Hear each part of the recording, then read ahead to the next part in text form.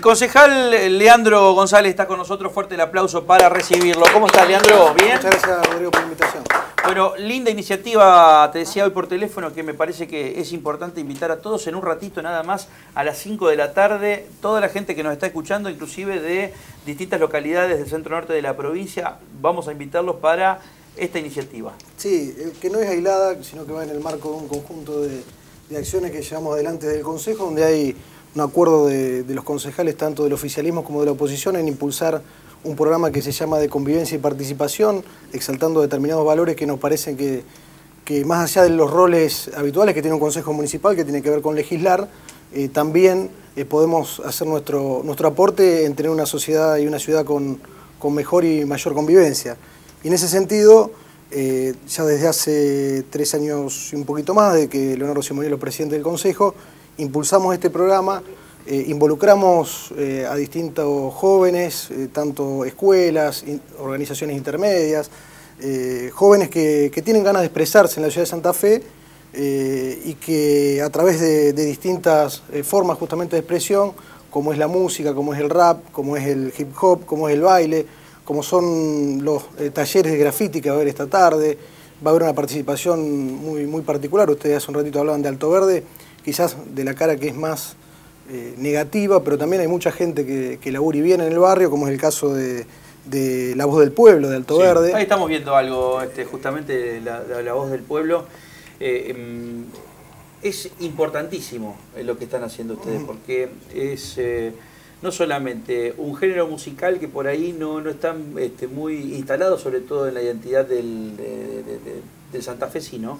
pero que realmente a mí me, asombra sí la inserción que tiene en muchos este, grupos de, jóvenes y adolescentes también. Hay determinados códigos eh, que manejan los jóvenes que por allí quizás vamos avanzando eh, nosotros eh, en edad, no porque seamos tan viejos, pero porque hay otros códigos que, que cada década que pasa los chicos manejan diferentes formas de expresarse. El video que están viendo en pantalla está producido por jóvenes de distintas expresiones del rap, del baile, de aquí de la ciudad de Santa Fe, eh, no tenemos nada que envidiarle a otros, a otros grupos. Es letra que armaron los propios jóvenes, mm. vinculada con, una sociedad con, mayor igualdad, con mayores oportunidades, exaltando estos e valores. inclusive con los grandes problemas que tienen los jóvenes. Sí, sí, exactamente. Eh, por eso eh,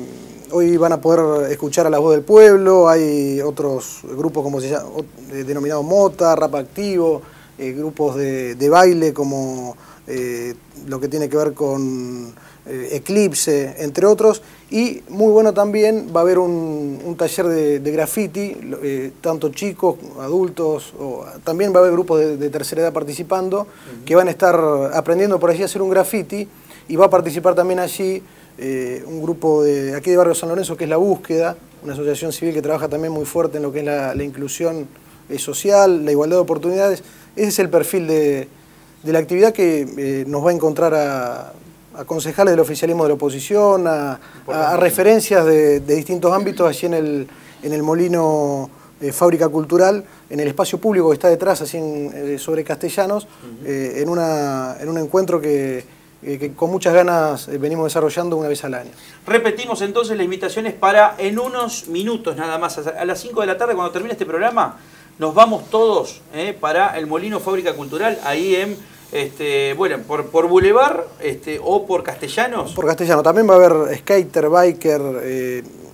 va a ser muy colorido y, muy atractivo para, los santafesinos, obviamente con entrada libre y gratuita. Bueno, buena iniciativa de los concejales, sobre todo de, Leo Simonielo. Eh. La verdad que esto es importante.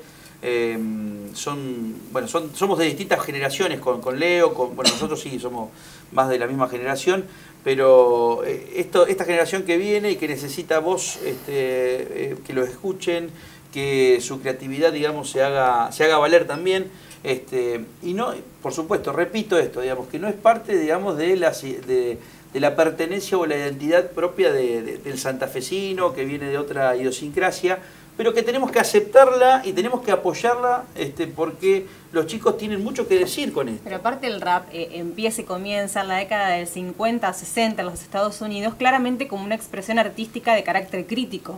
Yo le quería preguntar en este sentido que, qué expresión crítica pensás que puede llegar a surgir el día de hoy. No, eh, con los chicos hemos trabajado permanentemente y, nosotros también partimos de la base de qué es lo que significa el Consejo Municipal como un espacio de, pluralidad donde hay distintas expresiones, donde se reflejan distintas miradas sobre la ciudad de Santa Fe. A veces nos pueden gustar más, a veces nos pueden gustar menos, pero eso es el Consejo, eso es eh, el, el, leitmotiv del Consejo y obviamente que los chicos de Alto Verde tienen un mensaje muy crítico en sus letras, en su, en su forma, pero eh, son las reglas de juego de de, la democracia, de los vecinos de la ciudad y, nosotros eh, como consejo nos parece bien crear las, las oportunidades para que todos puedan expresarse.